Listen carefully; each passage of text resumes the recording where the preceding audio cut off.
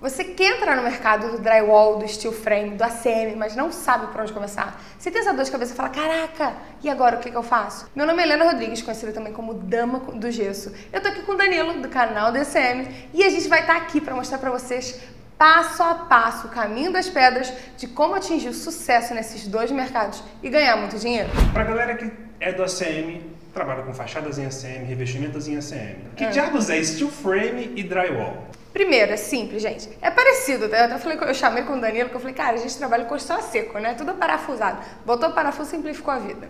Drywall nada mais é do que um sistema de vedação não estrutural. Ele serve para divisórias, ele serve para teto, ele serve para revestimento. É um sistema não estrutural de vedação. Quando começa a falar de steel, de steel frame, ele é um sistema estrutural, ou seja, ele foi feito para suportar cargas. Isso não quer dizer que no drywall eu não posso pendurar uma televisão, um armário, um espelho, um quadro. Eu posso pendurar diversas coisas. Ele resiste cargas. Agora, quando a gente fala de steel frame, ele resiste carga de vento né? Que aqui no Brasil, querendo ou não, o Brasil é muito grande. A gente tem cargas de vento que vão de 25 metros por segundo até 55 metros do segundo. Então a gente tem cargas de vento muito diferentes, mas tem carga de ocupação e etc. E o steel frame foi feito para resistir essas cargas. Numa obra de steel frame a gente não tem pilar e viga. As próprias paredes, o próprio sistema é estrutural. No drywall não, eu preciso dos pilares e da viga. E onde que entra o gesso nisso?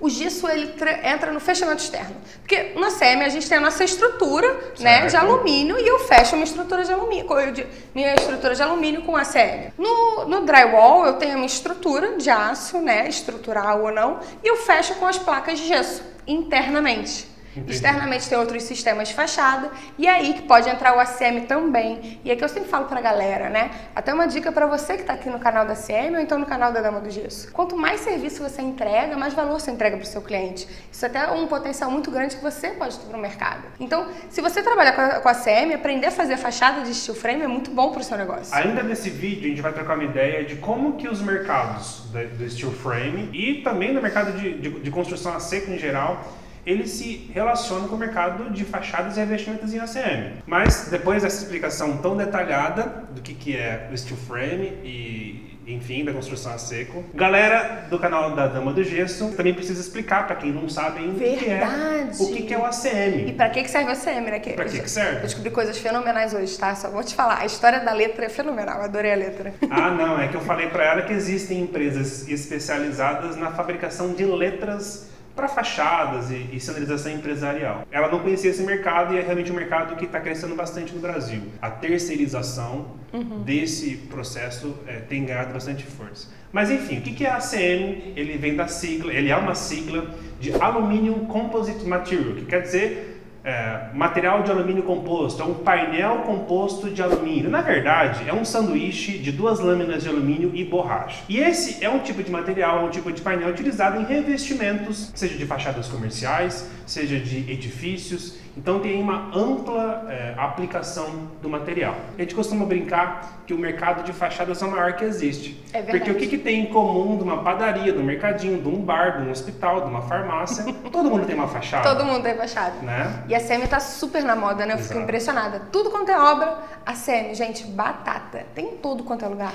É impressionante. E Helena, eu vou começar fazendo a pergunta, também eu quero até a gente trocar uma figurinha dos dois mercados. Como que um profissional é, que está iniciando agora no mercado da construção a seco, ele pode começar? Né? Com toda a sua experiência nesse mercado, quais são os caminhos das pedras que o profissional precisa seguir para ele ter sucesso, para ele, ele, ter uma empresa sustentável, ele ser um bom prestador de serviço no mercado de construção a seco? O que, que eu vejo? Primeiro, né, eu vejo muitas pessoas que não têm segurança muito de entrar nesse mercado. Porque o tradicional da construção civil é o tijolo, é o uhum. reboco. Isso todo mundo faz, desde sempre as pessoas fizeram. Mas o que, que eu vejo, né? Primeiro passo, a pessoa tem que abraçar o sistema.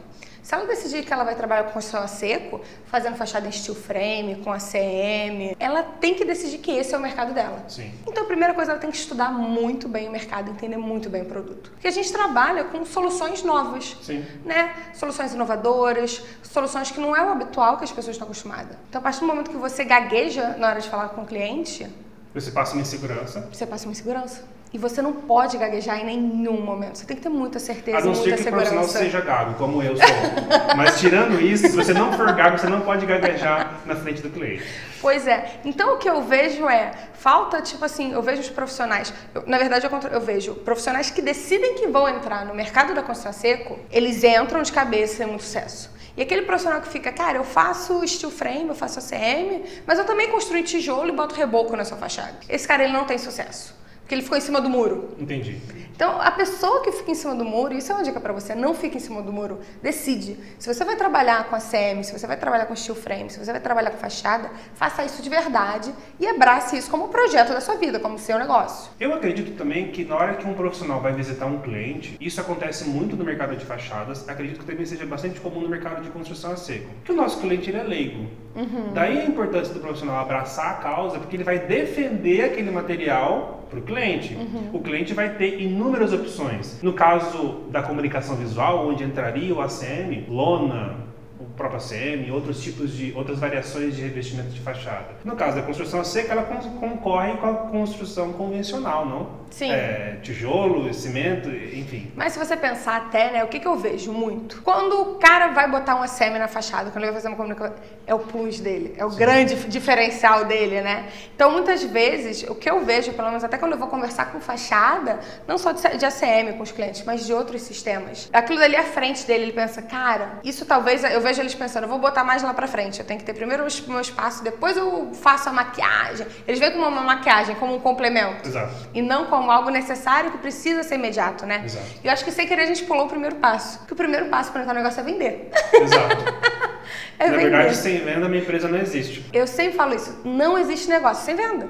Se você vai fazer projeto, se você vai fazer instalação, se você vai fazer só comercialização do material, precisa ter, precisa ter venda, né? E venda, entenda você, não apenas a etapa do seu cliente assinar o cheque para você colocar no bolso, ou na hora que ele, enfim, concretiza a, a negociação. Venda é todo o processo, desde o cliente encontrar a sua empresa, identificá-la como potencial prestador de serviço Uhum. para aquele problema que ele tem, e todo o processo de atendimento, não? Sim, com certeza. E um pós-venda depois. Exato. Que eu sempre brinco, a partir do momento que você conquista um cliente e ele fica apaixonado por você, ele nunca mais quer te soltar. Quantas pessoas você conhecem que só constrói com um cara e indica aquele cara para todos os amigos, colegas familiares? E até é, é, isso é um tema muito interessante porque é, acredito que você construir uma casa ou um- qualquer tipo de, de- de edifício usando uma construção a seco, ou você construir uma fachada, são altos valores financeiros envolvidos. Sim. né? Então, você se coloca no lugar do seu cliente, imagina quão desafiador é ele encontrar um profissional ao qual ele possa confiar, não só em relação à parte financeira, mas em relação à qualidade, ao prazo de entrega. Então, existe um processo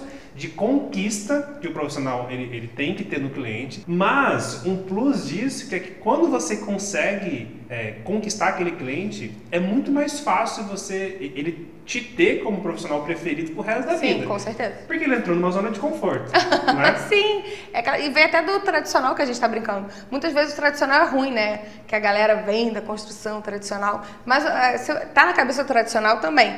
Juntei com o Zezinho, mestre de obra, vou ficar com o Zezinho, mestre de obra, o resto da minha vida. Isso é mal do brasileiro, né? Ele não gosta de trocar. Confiou, é igual mulher, né? Você quer canal de homem, uma mulher quando acha uma manicure não larga mais a manicure. Terrível. Isso é mal de brasileiro. Sim. Então, por isso que é muito importante. Você quer começar no negócio, cara, dá a cara a tapa, vende, abraça o que você está fazendo.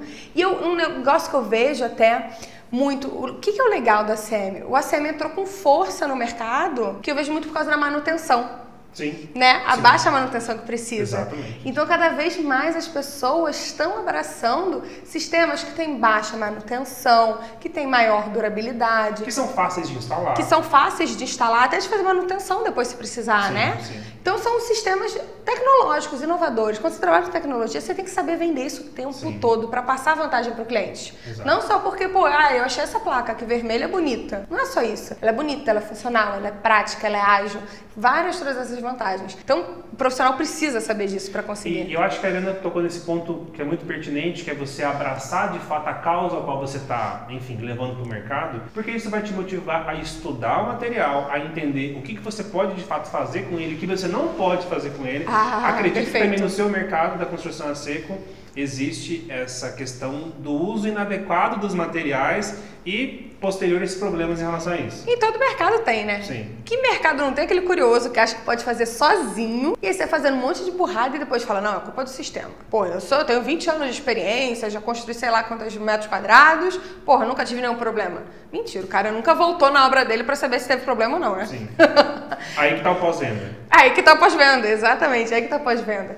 Então, eu acho que a mensagem principal desse vídeo aqui é isso. Cara, você quer começar um negócio? Busca com seriedade, estuda, abraça a causa e toma aquilo para você. Tanto o Danilo quanto eu, a gente tem alunos que têm muito sucesso. E outros que também não têm sucesso. Não tem. Que eu brinco que espera cair um milagre de Deus assim no colo, opa, um negócio. Isso não vai acontecer, né, Danilo? Tem todas as etapas e até um legal, aqui vou puxar um gancho. A gente vai ter alguns outros vídeos na sequência e é até legal você assistir, tá? Os vídeos da sequência. Se não tá inscrito no canal, se inscreve aqui na Dama do Gesso, no canal da CM, para conseguir assistir toda essa sequência. Que a gente vai estar tá falando de outras partes de negócio, né, em mercado. Exatamente. Que vão estar tá se conectando. É impressionante. Eu não conhecia a Helena e eu descobri é, quantas similaridades existem entre esses dois mercados. Seja em relação à mão de obra, seja em relação a problemas de mercado, em relação à negociação com o cliente. Então, fica ligado na, na sequência dos próximos vídeos que você vai aprender bastante coisa. Cara, se você quiser receber mais informações sobre steel frame, sobre o mercado da construção a seco, aqui na descrição do vídeo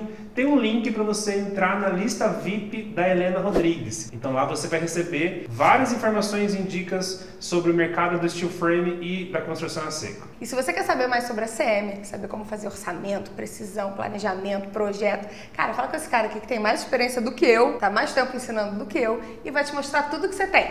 Clica só aqui embaixo no link do WhatsApp e entra para a lista VIP deles. Beijinhos, tchau, tchau, até a próxima. Abraço, até mais.